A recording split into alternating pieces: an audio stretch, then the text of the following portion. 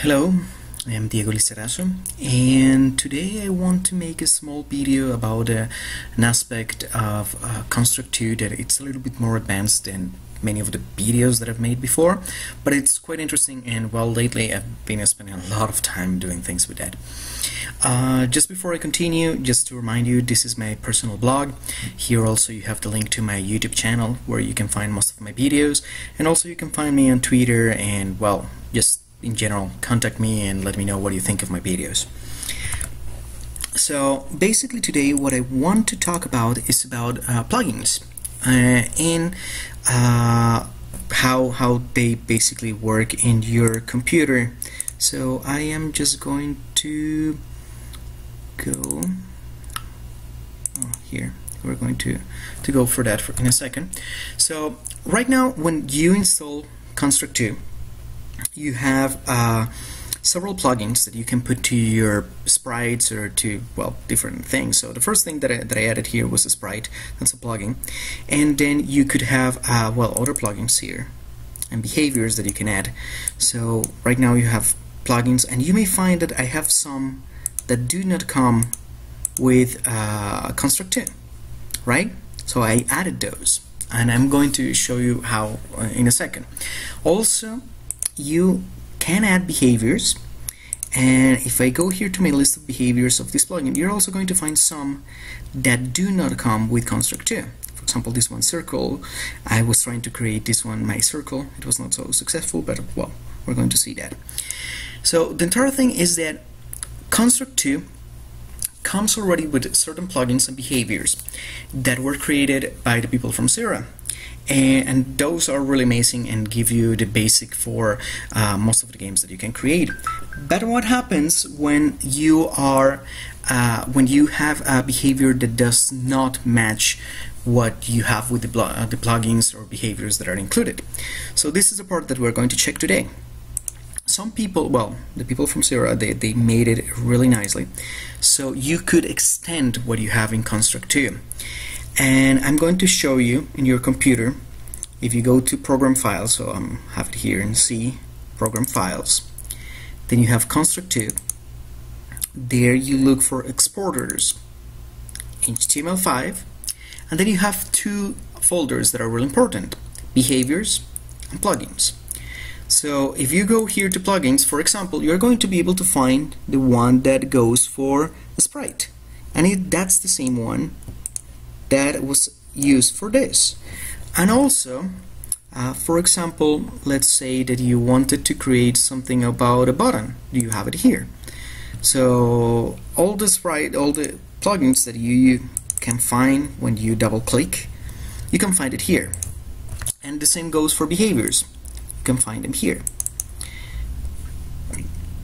so for example uh, physics platform and things like that. But also you can see that I have others that do not come with construct 2 so where did I find this? What are these basically this is just some member of the uh, construct 2 community.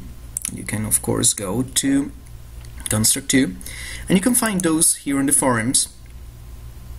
And for example if you go on extending construct 2 you can find that there is something like completed add-ons.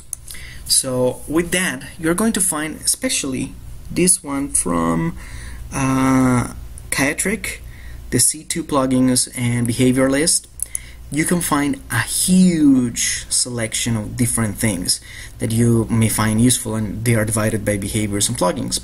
So the entire trick is that Construct 2 underneath it all is created with uh, well or it's using JavaScript and that's the and HTML5 and that's how it's going to be able to create export games to different platforms right? Because JavaScript is supported in most platforms uh, regardless if they are a desktop or a tablet or a phone so if you go and open one of these uh, behaviors you're going to find several files including several that are JavaScript and you can see them here. And you can even see the code. So I'm going to open this one just with a notepad.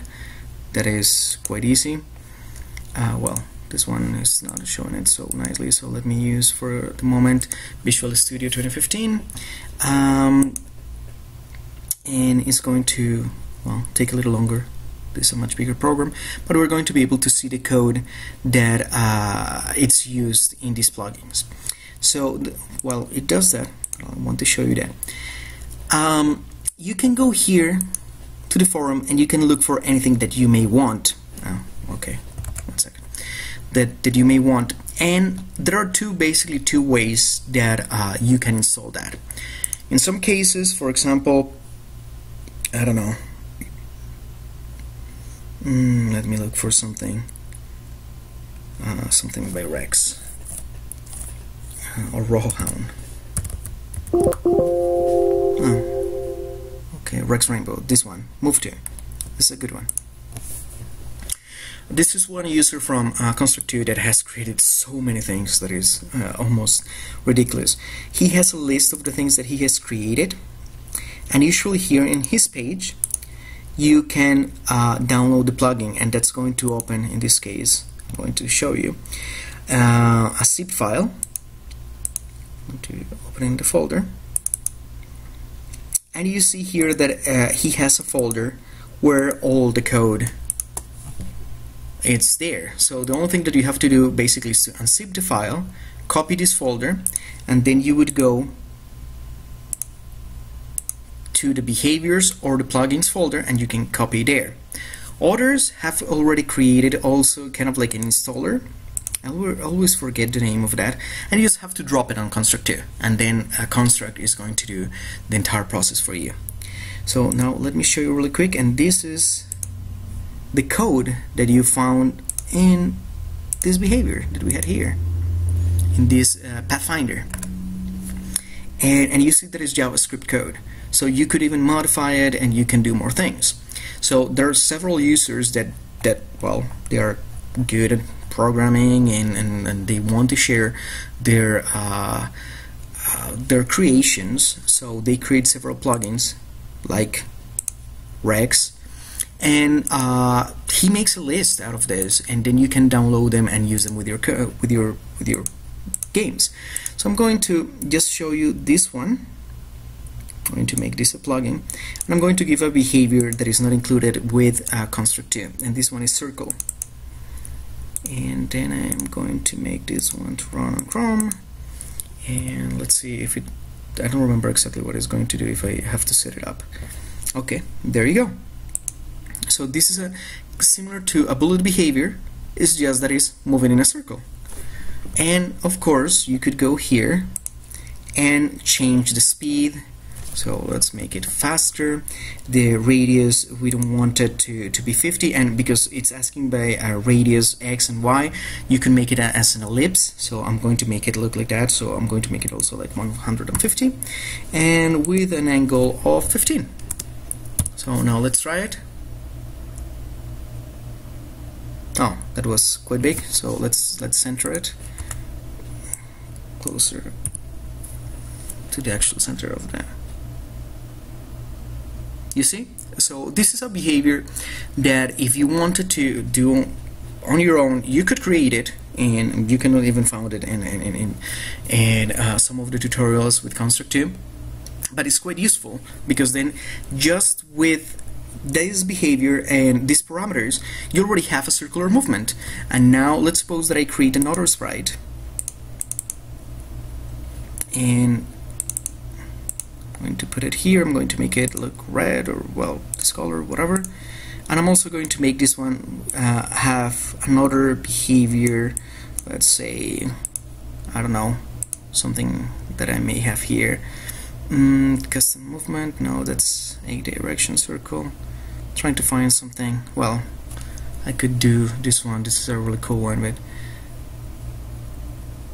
uh, move to that one is also from Brex so let's do the move to I don't remember how to use that one. Mm.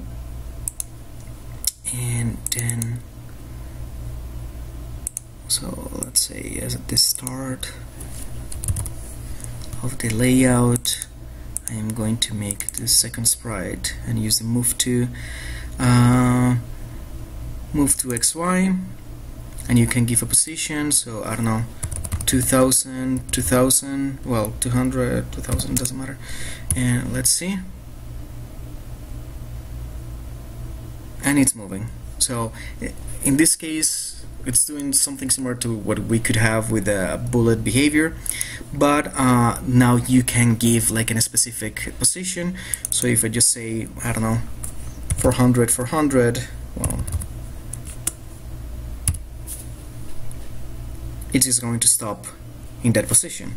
So that's something that you don't have with bullet.